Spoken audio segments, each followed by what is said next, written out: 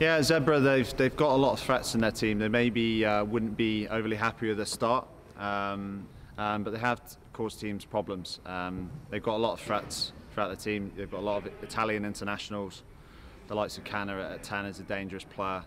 Um, so look, it's a team that we know quite well. We, we, we obviously play played a lot in the past. Um, but if you if you allow them to get on the front foot and, and, get their tails up, they, they can really cause you problems, especially over there. So uh, you know, really important that we have the right mentality this weekend um, because we'll need to we need to put in a really good performance.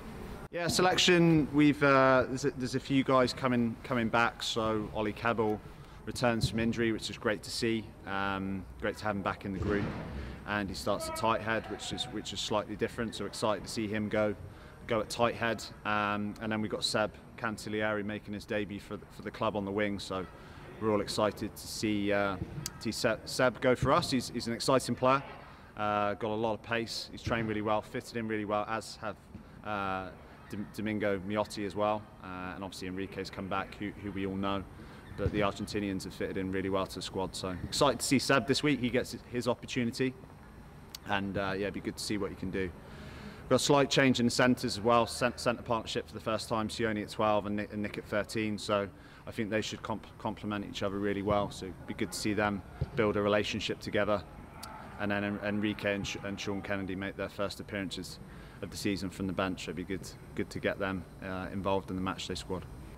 Well, like I said before, I think whenever you go away from home, your, your mentality um, is really important. So especially against the Italian teams, if, if you allow them in the game early, um, they can cause you real problems. So for us, it's starting well, but I think we probably feel like we've um, teams are always searching for that 80-minute performance, and we we feel like in the game so far we've had segments that we've been uh, really strong on, um, but we're really looking to try and string more of that together. So we're striving for that 80-minute performance, um, and that includes starting really well over there. If we do that with the right mentality, then we'll, we'll be where we need to be. Um, but yeah, they're, they're, a dangerous team. We prepared well this week, um, and, we're, and, we're, really up for the occasion. Uh, yeah, we've had a really good week's training. Um, it's been a, it's quite nice today actually. Uh, uh, weather's been good, and then a, a, really good day at Ravenscraig as well. Indoor facility there, and yeah, training's sharp, and it's been it's been really clinical. So now we're we're taking the, the good bits out of the performance against Lions, and, and we're looking to improve, um, be a bit more clinical in their half, and, and keep hold of ball this week. Yeah, I'm, I'm just going to go over there and try and enjoy myself.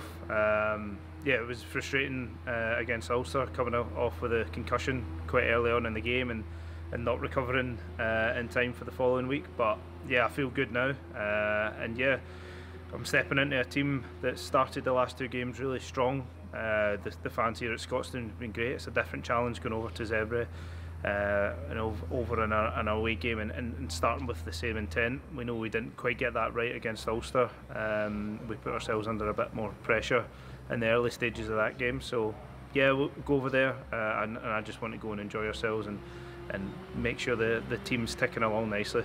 We know it's going to be a hard game against Zebre. Um, at home, they're very physical, they're very emotional. Um, a, typical Italian side, they, they play with a lot of grit. Uh, we know they've got some, some real dangerous players, and Canna's uh, a real pivot in, in their side uh, at 10, so it'll be a good personal battle against him, um, and hopefully we can uh, just play some really smart rugby in our own half and, and then keep hold of the ball a wee bit more clinically. Uh, is that a word clinically? Who knows? We're going with uh, clinical uh, in their half and, and keep hold of it. Make sure that we want to offload, we want to play uh, the Glasgow Warriors style of, of rugby, but if we can just make sure that those final passes click, um, like they, they did at times at the weekend, but we can we can certainly improve that and, and just maybe hold on to ball and be a bit smarter about those decisions.